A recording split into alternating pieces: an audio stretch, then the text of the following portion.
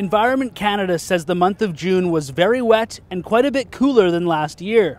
After record setting temperatures hammered most of BC in 2021, Kelowna saw a big drop in heat and a spike in precipitation.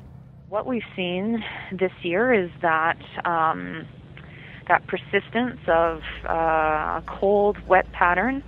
Um, for Kelowna and Vernon, both those communities saw 140% of their normal precipitation, so just uh, more widespread rain over that region in particular.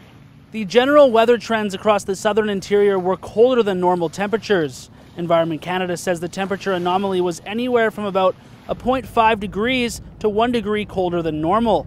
But compared to last year's heat dome, it's a massive drop saw record breaking temperatures, not just for the province, but for all of Canada for multiple days in a row. And um, with those conditions in place, uh, communities all across BC saw their hottest June on record, which includes uh, Penticton, Kelowna, Vernon, and Kamloops, all coming in um, anywhere from about uh, three to five degrees above normal for the month of June in 2021.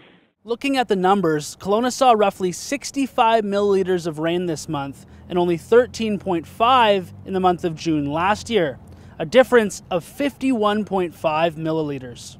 May and June are typically some of the wettest months for the Okanagan and Kamloops, and that's because the weather pattern is so often dominated by either what we call upper low systems that bring widespread precipitation or uh, just sort of day to time, day to day uh, convection. So that would be your sort of afternoon and evening showers and thunderstorms.